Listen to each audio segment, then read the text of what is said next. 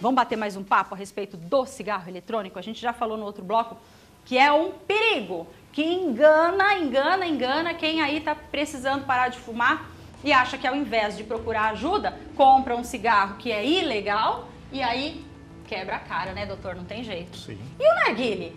O que eu vejo de jovem fazendo rodinha com o narguile, narguilé, não sei, é, o narguilé ele foi desenvolvido na, na Índia há muitos anos. Né? Uhum. Né?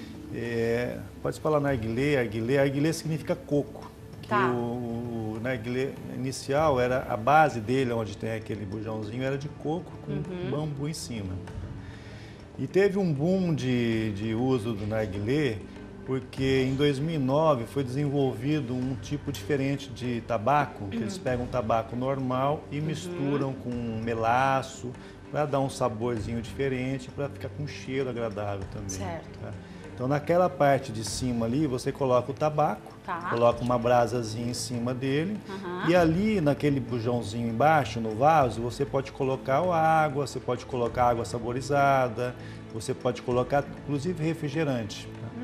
E eles propagam que quando você aspira a fumaça, a fumaça passa pelo aquele líquido uhum. e, teoricamente, o líquido ia conseguir filtrar um pouquinho daquelas 4.700 substâncias do tabaco. Uhum. Só que os estudos provam que só 5% daquelas substâncias ficam retidas na água. Nossa. Tá? E o grande problema, esse tipo de, de, de, de cigarro, assim, de, uhum, de fumo, né?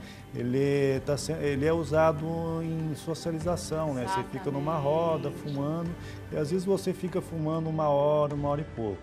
Estudos mostram que 50, de 50 minutos a uma hora de fumo de narguilé equivale a 100 cigarros de papel normais. Gente do céu. Então você tem, olha lá, você está inalando muita, muita substância tóxica numa Direto. sessão de narguilé. Então, gente, é perigoso, sim. Tem um monte de, de vídeo aí na internet, você entrar no YouTube, tem gente falando o contrário, e tal.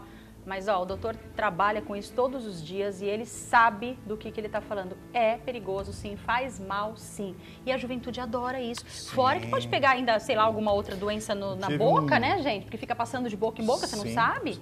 Eu tive um caso, assim, inusitado. No consultório apareceu uma criança, uma jovenzinha de 13, 14 anos, nunca tinha tido problema pulmonar antes, passando muito mal do pulmão. Hum. Estranho, porque não parecia ser infecção nem nada. Aí na investigação, não tinha problema, não tinha problema. Ela falou, ah, que semana, esses dois dias eu estava brincando com a minha amiga de narguilé. Aí eu falei Meu assim, Deus. como assim brincando de narguilé? Ah, não, minha mãe comprou um narguilé e a gente estava brincando. Hum. A mãe não tinha noção do que era não é isso, é que era tabaco. Isso é tabaco, né? Você tá. coloca tabaco em sim, cima. Sim. Isso não é brinquedo, né? Não é brinquedo e está aí para provar. Os sim. estudos estão aí para provar, gente. Ai, é, é, ai, é nojentinho, né? Eu não, não curto, não curto não. E ninguém tem que curtir, porque não, não é legal, tá?